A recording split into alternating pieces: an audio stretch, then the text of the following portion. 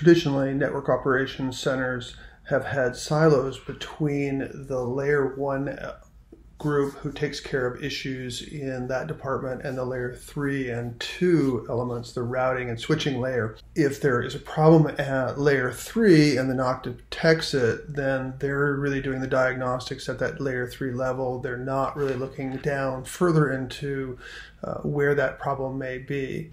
Uh, if it turns out that that issue is at layer one, then they often pass this off to another group who has to start doing the diagnostics from scratch.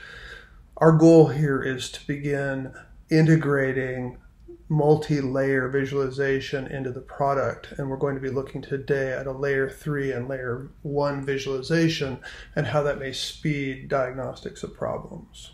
So I have a customer that calls in and they have an issue getting from one portion of the network to another portion of the network. This may be a service that they're trying to get to across the topology. I can see from Seattle to JFK, I do have a valid path forward and reverse from that source to that destination and back again.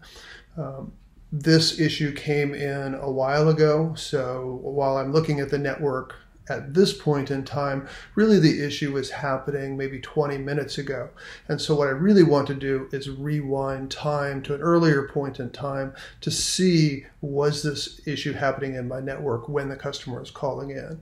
So what I'm going to do is I'm going to drill down on this issue and we're looking at a layer 3 topology map and a layer 3 pathnet map along this. So you can see the various hops.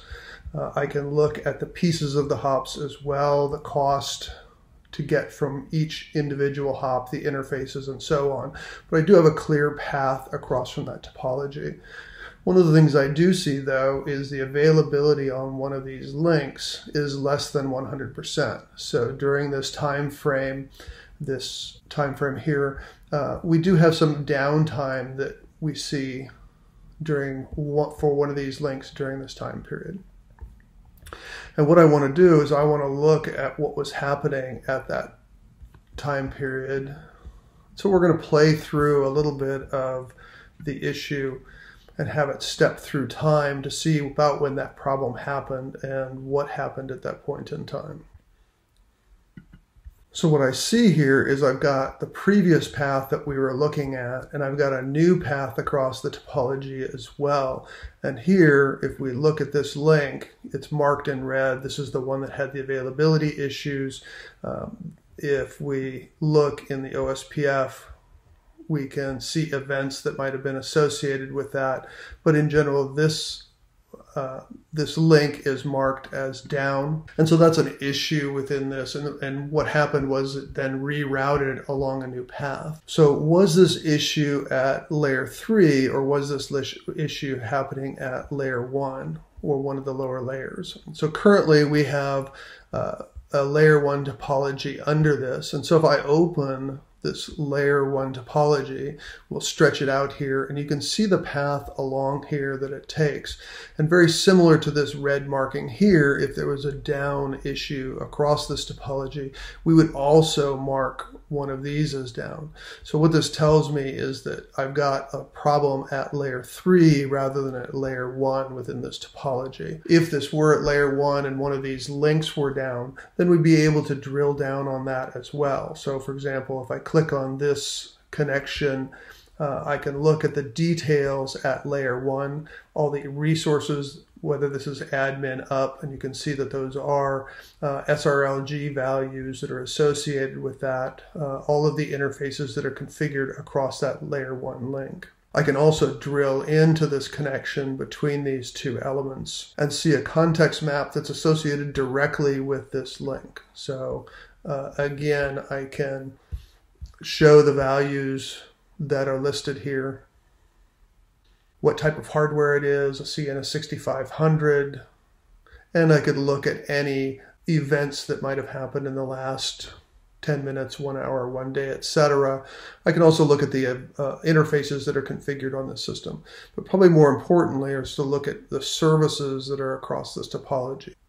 And I can see the, the name associated with this, Uh, these are the the services that we see running across this. This is active. It's running on ODU2, and I can see the links that it's transiting here at layer 3 as well. So I can look at the services here, and this will allow me, if I'm diagnosing a problem at layer 1, and I see a layer 1 context path across here, I can then climb back up to the layer 3 topology to see what was happening at that point in time.